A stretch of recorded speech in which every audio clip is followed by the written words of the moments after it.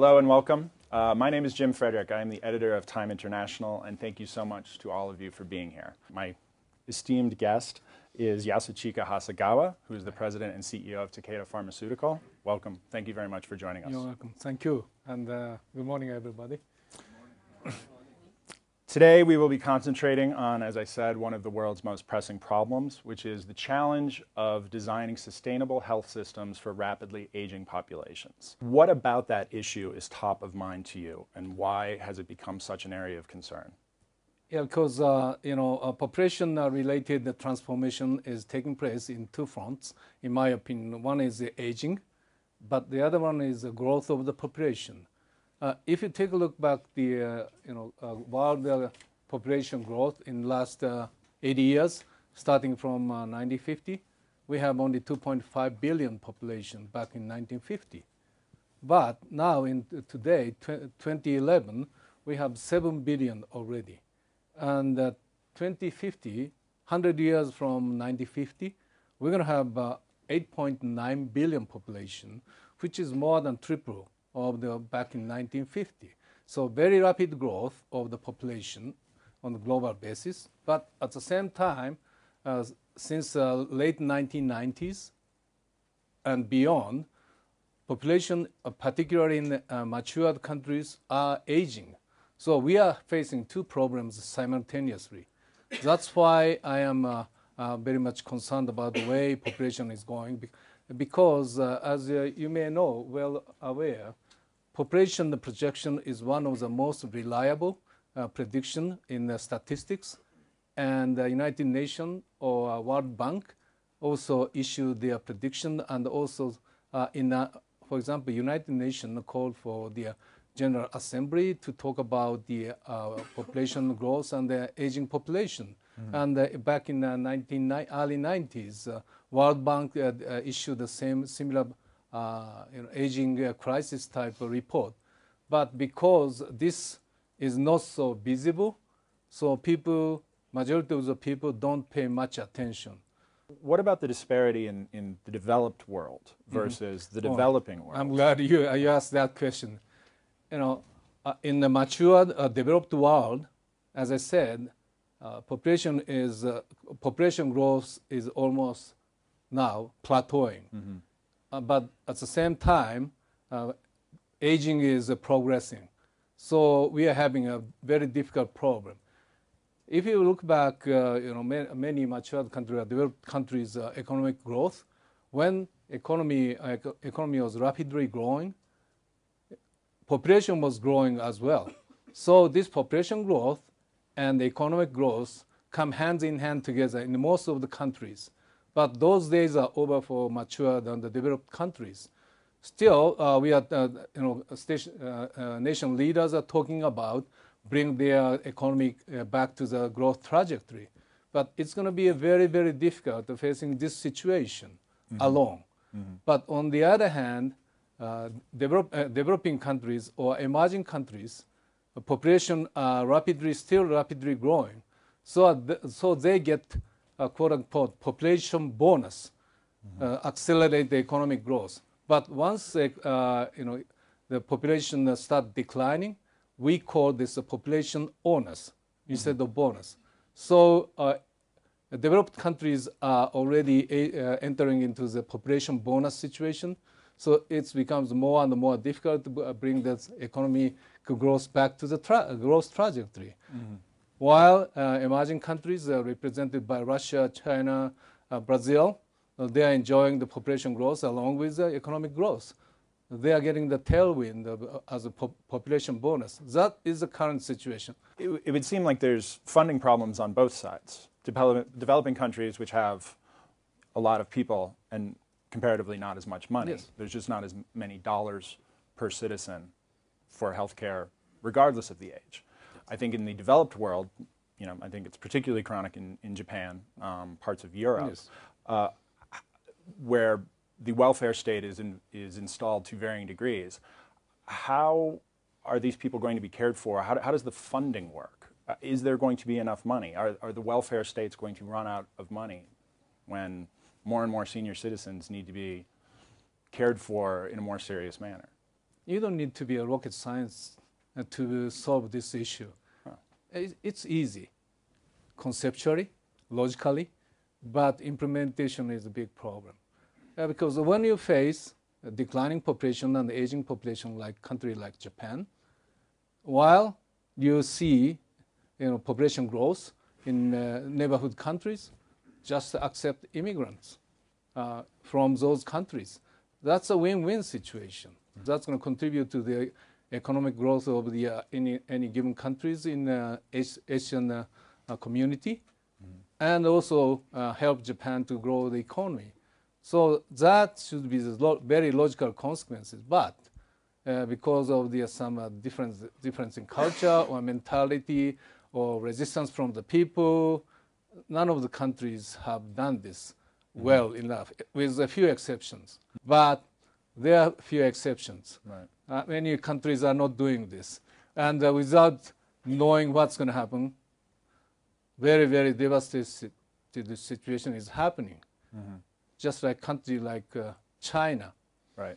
Because of the one-child policy, their family is going to be a four to one type right. uh, family. Mm-hmm. Four grandparents, mm-hmm. two parents, one child. Can you sustain the, the, social welfare system or social security system with this kind of family, family structure? No way. Well, if I, if I can ask a follow up then, I mean, we've already identified immigration as one possible route to, mm-hmm. to, to doing so. And you've already indicated that in some countries, Japan, China, and other countries like that, that the immigration issue is, in terms of public debate, is really very not, sensitive issue. It's just not on the table for yeah. the foreseeable future. So, what other insights have you developed in trying to solve the problem beyond immigration? Are, are there are there other ways? The, a country like Japan, who is not willing to open up, uh, you know, uh, the floodgate to the immigra- immigration mm-hmm. immigrants, there is no much not much other alternative. But, you know they have to be prepared to raise the tax, uh, to uh, manage the ever increasing social welfare and social security costs. And by doing so, the problem is shifting the money from less income young people to mm. the higher income elderly people. Normally, logically that should be the other way around. Mm. But because of uh, this situation, that's a reality in Japan, mm-hmm. and the current uh, you know administration is trying to fix that. But you know, not only Japan, but any uh, country, mm-hmm. if the uh, you know the, uh, the, politician tried to uh, raise a tax, nobody supported. Mm-hmm. So that's current the very very much a predicament we are facing in Japan. But we have no choice but raising the tax. Mm-hmm. Okay, so we've now talked about three major ideas for supporting the increased healthcare costs mm-hmm. immigration, taxation, and perhaps on a limited basis, actually kickstarting certain countries' birth rates. Uh, other thing uh, we oh. can do is uh, we're facing that kind of situation. This is not also well. Uh, is this countermeasure is not so popular either. People don't appreciate it you know, extend the uh, re- retirement age. Mm-hmm. In Japan, current mandatory retirement age is 60, but now it is going to extend to 65 on a stepwise manner. Mm-hmm. But people uh, live much longer. Countries like Japan, people are, are living 86 to 88 on average. Mm. So if you uh, you know consider uh, retiring at the age of 60, Mm-hmm. Uh, people have 25, 28 years life post retirement. Mm-hmm. How come you can support those people from the uh, with the money they uh, contributed uh, while they are working in uh, on average maybe 40 years? Right. But you know they are you know living 25 post uh, retirement years. Yeah. You know their contribution is not good enough. That's why and still, Japan is uh, relying on pay-as-you-go system, mm-hmm. not full, full funded system. Mm-hmm. So young people's uh, contribution is uh, now shifting to the retired or elderly people in Japan. Right. This is not sustainable. if I could turn the conversation a little bit, we've just talked about you know four big and broad ideas about how to support a system on the funding level. Mm-hmm. Have you had any thoughts or insights or you know real change factor uh, concepts on you know radical cuts in costs? Is there a way to bring healthcare costs That's inevitable. down dramatically? That's inevitable. Okay. Yeah, because uh, let me uh, you know um, talk about the Japan situation. Current pensionees, uh, if he lives or he or she lives, average uh, lifespan of uh, 85 or 88, those people get um, 25 million equivalent, 25 million US dollar equivalent, more money than they contributed. Okay, but uh, 25 million Japanese yen, not not US dollar, Japanese yen. But if you calculate that with uh, people at the, in in teenage, mm-hmm.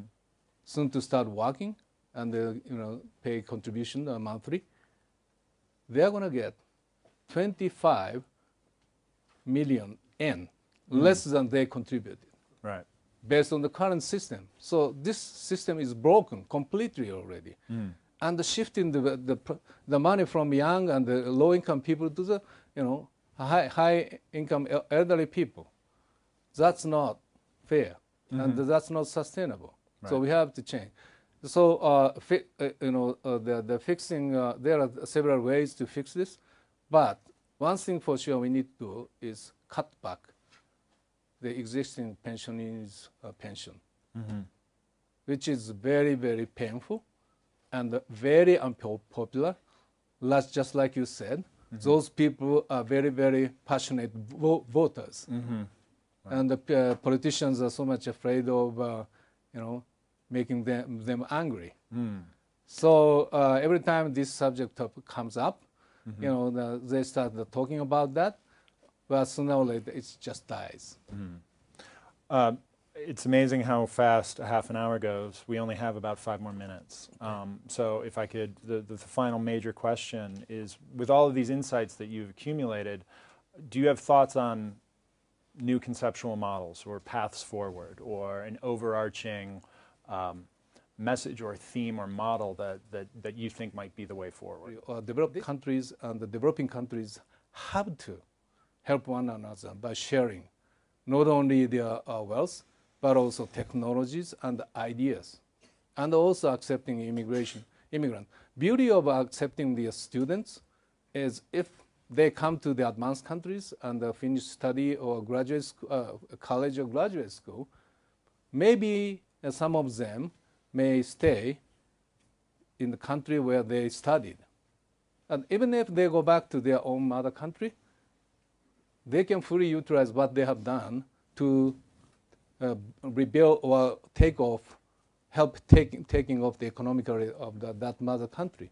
So it works in the both way. Mm. We have to start acting on this now. That's a message I'd like to get across today. Okay, call to action. Um, well, I hope the audience has enjoyed this conversation as much as I have. Uh, Mr. Hasegawa, thank you very much uh, for joining us here today, and uh, thank you to the audience as well. My pleasure. Thank you. Thank you.